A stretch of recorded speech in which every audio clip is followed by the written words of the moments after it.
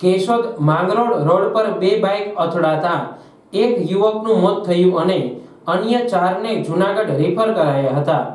આ ઘટના અંગે મળતી વિગત મુજબ જૂનાગઢ કેશોદના માંગરોળ રોડ પર આવેલ ડોકામરડી અને બાલાગામ પાટિયા વચ્ચે બે બાઇક સામસામે અથડાઈ હતી, જેમાં જીજે અગિયાર, એકે ઓગણત્રીસ નંબરની બાઇક પર એક યુવક સિંગલ સવારી કરી રહ્યો હતો.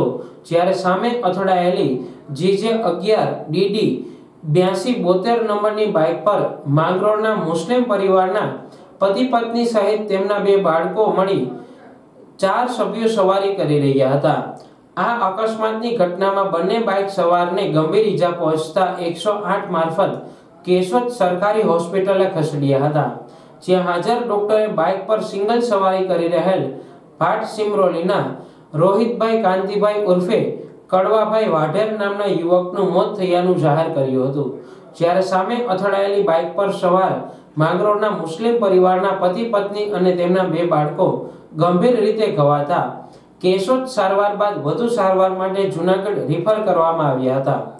આ અકસ્માતની ઘટનામાં પોલીસ હોસ્પિટલે પહોંચી હતી અને મૃતકના પરિવારનું નિવેદન નોંધી મૃતદેહનું પંચનામું અને પોસ્ટમોર્ટમ સહિતની કાર્યવાહી હાથ ધરી હતી.